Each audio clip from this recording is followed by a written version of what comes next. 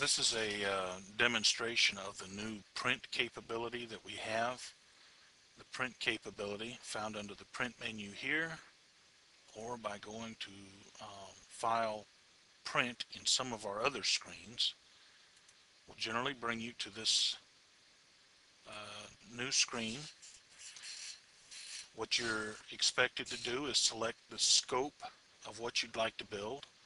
The scope would include uh, all components, all of these and all of the entities that make those up, or all of the footprints, which would be all of these and the parts that make those up, all of the symbols right here, and all of the parts that make those up, or just the current component, footprint, or symbol, which would mean the one that is highlighted.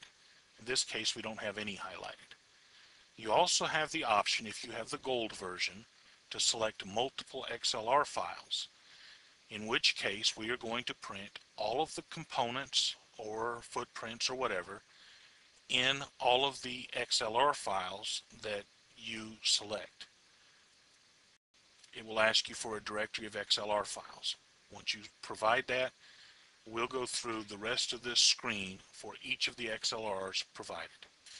Now in addition, as you select components as an example, different entities for each component can be printed and they can be turned off. For instance, if you're not worried about the gating for your components, you don't need to see that in your printout, you can turn it off. You'll note that as we change the scope, certain capabilities turn on and off. For instance, if we're going to print footprints, there is no component header, symbol information, and so forth. If we're going to do symbols, on the other hand, all of the com component information as well as all of the footprint information disappears.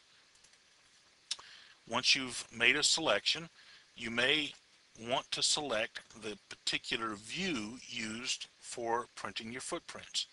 We have a print, a normal print view for footprints, but notice that you could select several other um, footprint views that will show you, for instance, just the um, just the, the heat tabs or the solder paste or the solder mask, just the place boundaries, the no probe areas, uh, just the silk screen and the assembly, or any other views that you have set up using your uh, footprint editor.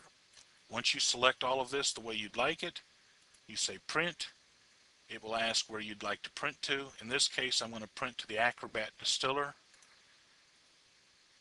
It's going to ask me for a file name, which is unusual and only happens with the Acrobat Distiller, as far as I know. Most other printers will just go ahead and start printing.